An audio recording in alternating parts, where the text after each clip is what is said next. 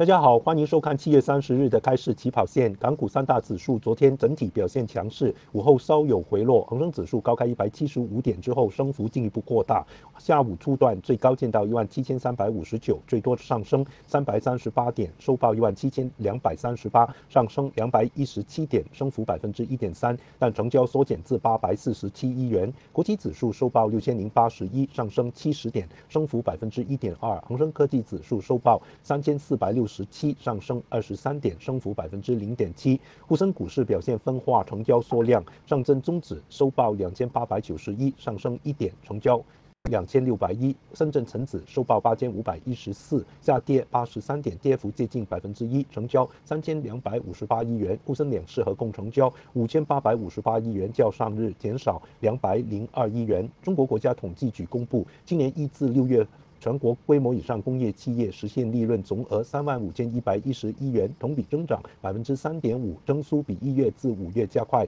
零点一个百分点。其中，六月规模以上工业企业利润增长百分之三点六，增速比五月加速加快二点九个百分百百分点。工业生产平稳，较快增长叠加二季度以来工业品出厂价格降幅明显收窄，共同推动企业营收稳定恢复。上半年规模以上企工业企业营业收入同比增长百分之二点九，与一月至五月持平。港股盘面上，大型科技股、大金融股、中字头股、高息概念股等。权重多数表现活跃，阿里巴巴盘中曾大升近百分之六，最高见到七十七点三元。阿里公布调整淘宝、天猫平台商家规则，明确以体验分为流量分配核心依据，对高体验分店铺松绑仅退款，同时将开始收取基础软件服务费，费率为每 B。订单却收成交金额的百分之零点六，这一系列商家经营政策调整，料可促进商户与用户之间更平衡的购物生态发展。而收取软件服务费将为阿里增加对管客户管理收入带来正面影响。叠加阿里将于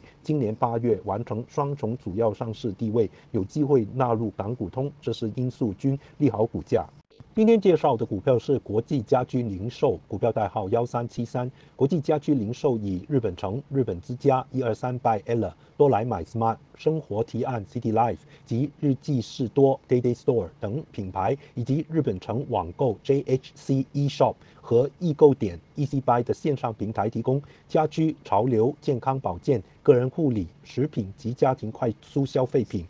目前于香港、新加坡、澳门等地区合共拥有约三百七十六间店铺。集团借助港元强势，以迅速积极扩大有汇率优势地区供应商的采购业务，能够以有竞争力的价格采购高品质的产品。同时专注开发一系列具有竞争力的代工产品 （OEM） 品牌，涵盖多个产品系列，并透过引入新功能及加强包装，获得客户好评。于截至二零二四年四月三十日止年度，集团收入达二十六点八七亿港元，较去年同期的高基数下跌百分之四点九，主要因去年同期香港在 COVID-19 疫情下。抗疫为物资需求激增的高技术效应，加上疫情后港人盛行外出旅游及北上消费。股东应占利润为一点零一亿港元，恢复至疫情前正常水平。相比去年同期之股东应占经调整利润一点四九亿港元，减少百分之三十二。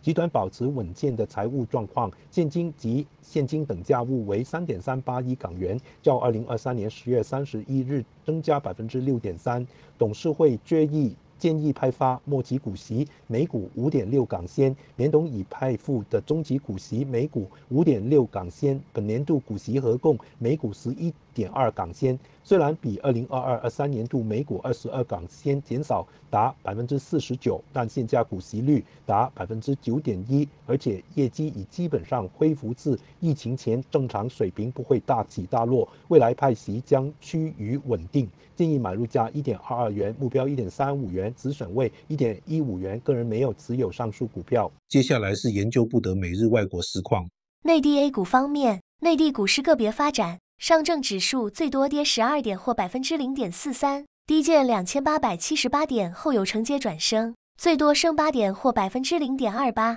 高见两千八百九十八点，全日收市报两千八百九十一点，升不足一点或百分之零点零三，成交两千六百点九五亿元人民币。深成指低开低走，最多跌八十六点或百分之一点零一，低见八千五百一十点，全日收市报八千五百一十四点，跌八十二点或百分之零点九六，成交三千二百五十八点四五亿元，市场交投淡静，两市成交合计缩减至五千八百五十九亿元。日经方面，美国通胀数据符合预期。巩固市场对联储局最快九月开始减息的憧憬。亚太区股市上扬，日本股市上周挫近两千四百点，连跌八日后，今日显著反弹，日经平均指数高开四百七十一点，重越三万八千点关口，随后升幅扩大，最多升一千零五十二点或百分之二点七九，高见三万八千七百一十九点后回顺，全日收报三万八千四百六十八点，升八百零一点或百分之二点一三。度指方面，全球本星期迎来超级议息周，市场亦观望重磅科企业绩出炉。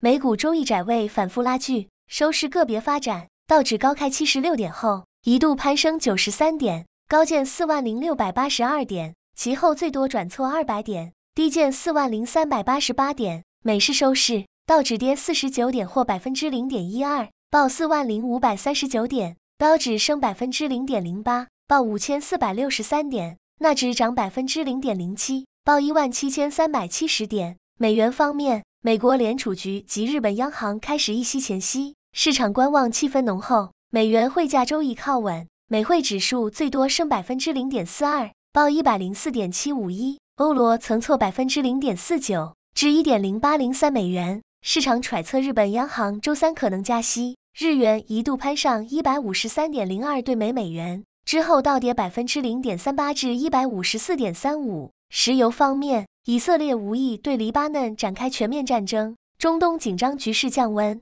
加上市场忧虑中国原油需求疲弱，国际油价周一回落。纽约期油收市跌一点三五美元或百分之一点七五，每桶报七十五点八一美元。黄金方面，美国联储局议息前夕，美元汇价造好，国际金价先升后回。纽约期金收市跌百分之零点一，每盎司报两千三百七十七点八美元。谢谢收看今天的开市起跑线，再见。